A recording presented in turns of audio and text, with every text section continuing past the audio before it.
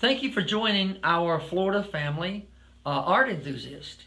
Uh, I, uh, my name is Keith Martin Johns. I'm a sixth generation Floridian on both sides of my family.